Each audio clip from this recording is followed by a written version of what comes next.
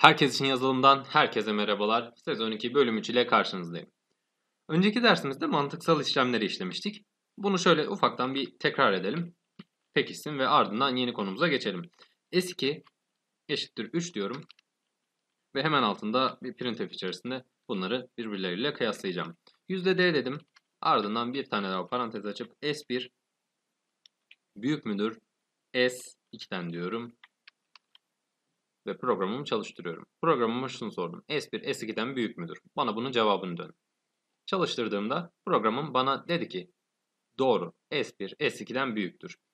Bunu ters çevirip tekrar cevap beklediğimizde S1 S2'den büyük müdür dediğimizde S1 S2'den büyük olmadığı için programda bana bunun cevabını yanlış olarak dönüyor. Önceki dersimizin konusu bu şekildeydi. Önceki dersimizi ufaktan bir tekrar ettikten sonra yeni dersimize geçiyorum. Aslında mantıksal işlemlerden atladığım bir tanesi var. Ve belki de en çok kullanacağımız mantıksal işlemlerden birisi. Eşit midir işareti. Tamamen diğerleriyle aynı yapıda çalışıyor ve iki tane eşitliği yan yana koyarak çalıştırıyoruz. Yani şu şekilde hemen size yine ufak bir örnek yaparak bunu anlatabilirim. Önceki derste anlatmadım çünkü aslında bunu if ile anlatmamın ve bunun içinde kullanmamın daha iyi olacağını düşündüm. Sayı 2 diyorum. Buna da 3 diyorum. Tekrar neden sildiysem öncekileri. Diyorum ki yüzde de ve parantez içinde S1 sayı 1 eşit midir sayı 2'ye. Bu şekilde çalışıyor. Sayı 1 eşit midir sayı 2'ye diye soruyoruz. Çalıştırıyoruz. Sayı 1 sayı 2 eşit olmadığı için bana 0 değerini döndü. Şimdi biz bunu if yapısıyla nasıl birleştirebiliriz, nasıl kullanabiliriz ona bakacağız. If yapısını şu şekilde açıklamaya çalıştım. If'in içine olmasını istediğimiz şey geliyor. Eğer olmasını istediğimiz şey gerçekleşirse yani doğru olursa 1 olduğunda olmasını istediğimiz şeye bağlı olaylar gerçekleşiyor. Bunu nasıl tanımlayabiliriz? Yani şöyle düşünelim. Sınıfa hoca gelir ise ders işlenir. Sınıfa hoca gelmezse ders işlenmez. Hatta şöyle yazabiliriz bunu.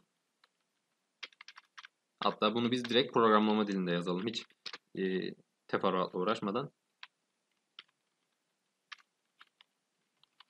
Hoca geldi mi diyorum.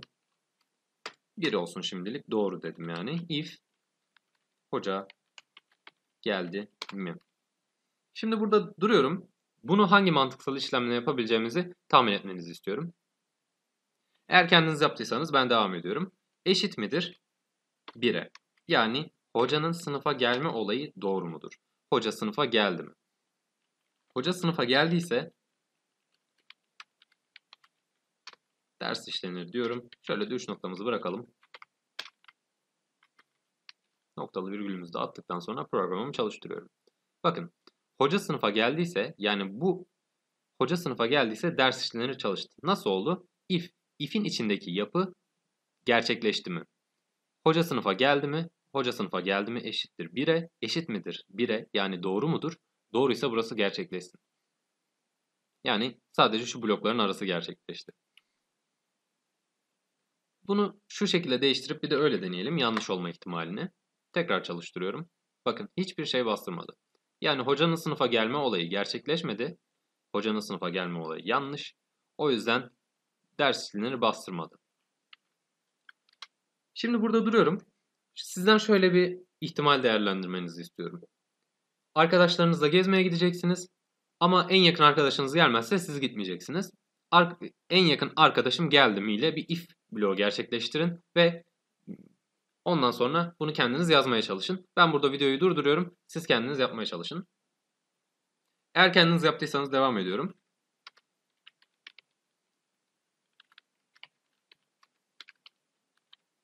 Arkadaşım geldi mi diye bir soru yönelttim. İlk başta gelmiş olsun. Ardından if diyorum. Arkadaşım geldi mi? Eşittir 1'e.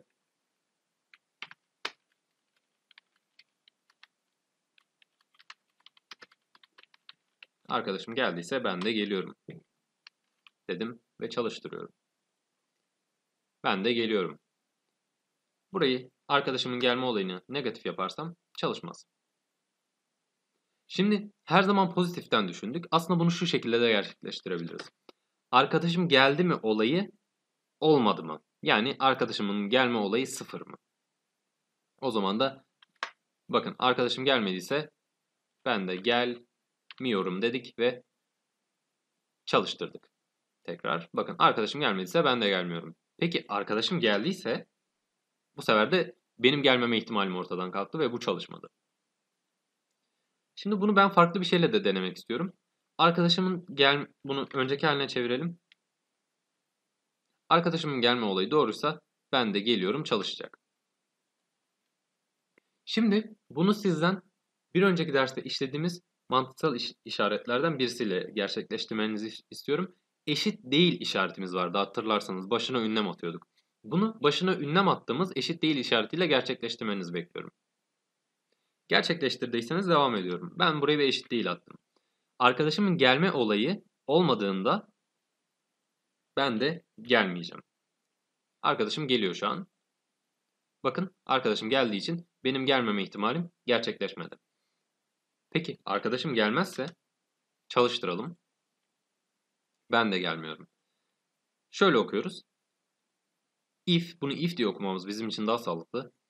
If arkadaşım geldi mi olayı olmadıysa, arkadaşım gel arkadaşımın gelme olayı doğru değilse ben de gelmiyorum. Bunu bu şekilde okuyoruz.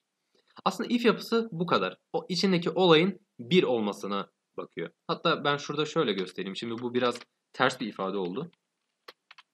Şunu da bir bastıralım ekranımıza. Hatta başına da bir slash n atalım ki görebilelim. Parantezimi de atalım. Arkadaşım geldi mi'nin eşit değil olması 1'e bana ne sonucunu bastırıyor? Bir görelim bakalım. Aslında burada içeride neler dönüyormuş. Yani bu bize 1 mi veriyormuş, 0 mı veriyormuş? Ne oluyormuş bu programda? Bir bunu incelemeye çalışalım. Çalıştırdım. Bakın arkadaşımın gelme olayı gerçekleşmemiş. Aslında yani burası doğru oldu. Yani biz yine burayı doğru yapmaya çalıştık. Burası doğru olduğu sürece programınız if bloğu içindeki yapıyı çalıştıracak. Artık ne yazarsanız burada çok fazla satır kod da yazabilirsiniz ama bir şeye bağlıyorsunuz. If buna yarıyor. Dersimi daha fazla uzatmak istemiyorum. Bir sonraki derste görüşmek üzere. Kendinize dikkat edin. Yazılımla kalın.